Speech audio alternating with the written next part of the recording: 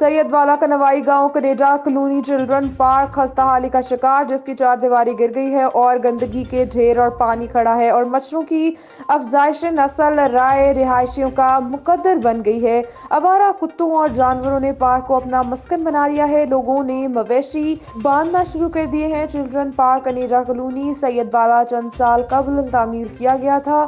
ضلع انتظامیہ کی غفلت کے باعث چلڈرن پارک کی چار دیواری گرنا شروع ہو گئی ہے اور گیٹ چوری ہو گئے ہیں۔ مقامی آبادی نے چلڈرن پارک گندگی کے ڈھیر لگانے شروع کر دیے ہیں اور جگہ جگہ گندگی کے ڈھیر اور گندے پانی اور جوہر بن گئے ہیں اور مقامی آبادی پوری طرح متاثر ہو رہی ہے۔ گندے پانی کے جوہروں میں مچھروں کی افزائش نسل ہو رہی ہے اور ڈپٹی کمشنر ننکانہ صاحب سے اور فوری اصلاح کا مطالبہ اور بچوں نے وزیر اعلیٰ پنجاب اسپات بزدار سے مطالبہ کیا ہے کہ ہمارے گاؤں میں یہ پارک ٹھیک کروائی جائے تاکہ ہمیں اس گندگی کے ڈھیر سے نجات مل سکے۔ غلام مصطفیٰ، نمائندہ مشرق ٹی وی، سید والا، ننکانہ صاحب۔